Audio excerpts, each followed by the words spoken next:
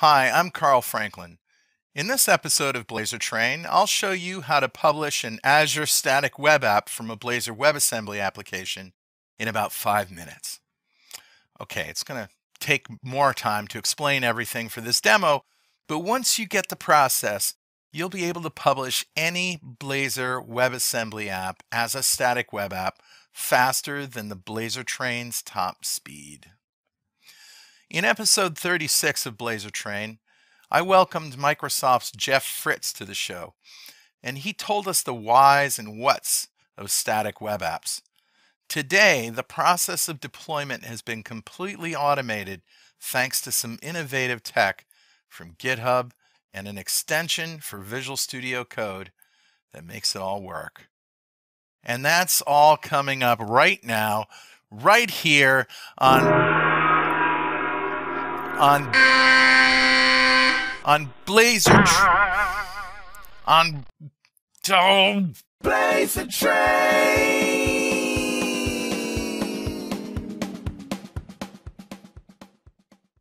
So today we're going to learn how to take an existing Blazor WebAssembly application and deploy it to Azure as a static web app using Visual Studio Code and GitHub. So you're going to need a GitHub account.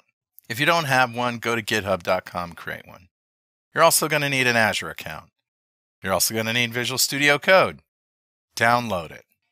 So the first thing you'll need is a Visual Studio extension. And here's the URL for that.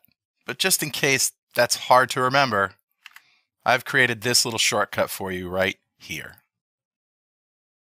So this is an Azure Static Web Apps extension for Visual Studio Code. So we're just going to go install and it comes up in Visual Studio Code and I'm going to click here where it says install. So if you go to the extensions or hit Control Shift X, you'll see the Azure Static Web Apps extension, but you'll also see the Azure Account and Azure Resources extensions. So those are installed when you install Azure Static Web Apps. So next, I'm going to go to this URL here at GitHub, static web dev slash blazor dash basic slash generate. So yes, this will generate a static web app Blazor WebAssembly repo for you. Now, I have shortened the URL to this. So for the repository name, just follow along with me. I'm going to call it My First Static Web App with dashes in between. I'm going to make it private. You can add all the descriptions and all the stuff you want, but I'm just going to click Create Repository from Template. So after a few seconds, you see the repository has been created. And now I'm going to clone the repository. So I'm going to drop down code and copy the HTTPS URL into my clipboard. So now back in Visual Studio Code, we're going to go up to the top there, the Explorer, and you should see a Clone Repository button. Click that. Up at the top, we're going to paste our repo. Clone from URL. Now it pulls up an Explorer and asks you to pick a directory to clone into. You're going to get this. Would you like to open the cloned repository? Yes, we want to open it. Now we're going to get some are you sure kind of things here.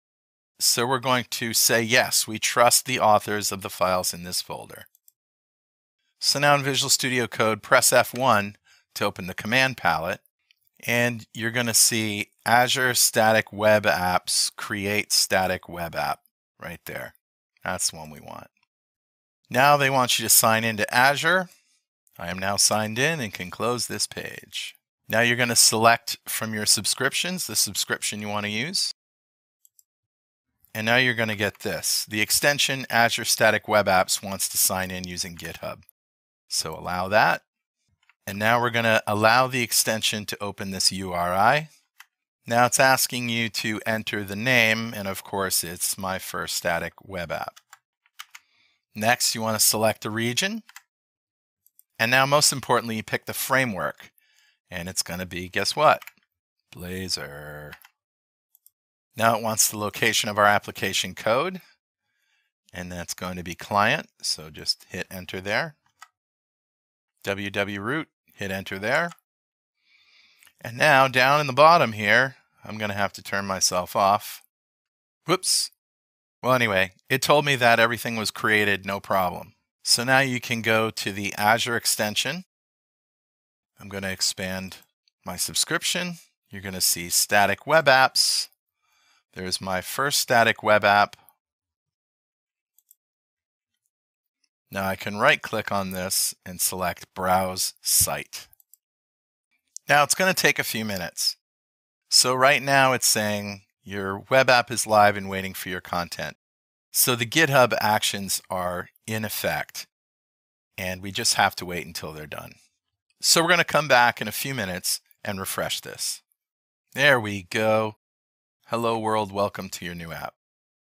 Now, this didn't happen magically. It's all because of the GitHub workflow that was installed when we created the template. So it's these files that make the magic happen. Isn't that cool? And so easy. It's actually easier than putting on a stupid hat and pretending I'm a conductor every week. Now back to you in the studio, Carl. You know, .NET 7 is right around the corner. Very soon now, I'll be going back into the Blazor Train archives and updating older shows that used outdated or preview versions of .NET.